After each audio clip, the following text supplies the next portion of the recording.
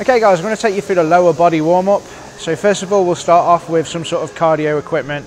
Do about five or 10 minutes, get nice and warm, get the blood flowing. The next movement, just walking toe touches. So I just want you to walk forward and put your hand over the front of your foot. Just going to warm up your hamstrings, a little bit, dynamic, little bit of dynamic stretching, okay?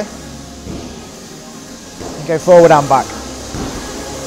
This next one, this is called a good morning. I just want you to keep your core nice and tight. I want you to break at the hips. It's called a good morning. You feel, you feel it stretch your hamstrings a hell of a lot. I just want you to do 10 of these. Turn sideways as well. What I don't, what I don't want you to do is go so far that you bend your back. I want this nice and nice and nice and fixed. Okay, so next I want you to stretch your hip flexor a little bit. So basically what we're going to do is go into this lunge position. And what might naturally happen is you tip your pelvis forward. I want you to think of it as like a, a, a bucket of water and I want you to push your belly button in, keep your pelvis nice and level, stretch up and across and you'll feel it all in your hip flexor. Just hold that. Good 10 seconds and swap sides. Same again, pelvis nice, nice and neutral, stretch over.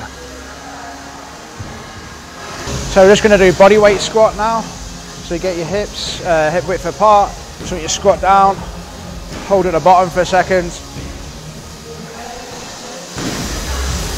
Try and go as low as you can while giving, keeping good posture.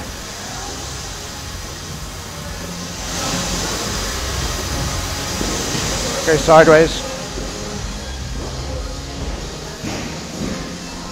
So we don't want to be going so low that the spine tips under. That's not good. Want your core nice and tight so you're actually keeping good posture on the movement. The next one is I want you to stretch your T-spine. So grab your arm, you grab your arm, come underneath with your head, stretch, hold for a few seconds, swap arms, the other arm,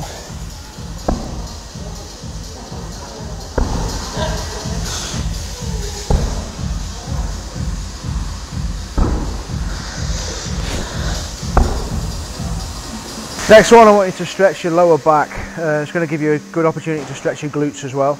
So lift your leg up, come across. You might find that's as far as you can go, that's fine. If you can, go over. You might feel some clunking and some clicking in your back. That's okay. Stretch as far as you can with this hand, as far as you can that way with that foot, okay? Hold for a while. Swap sides.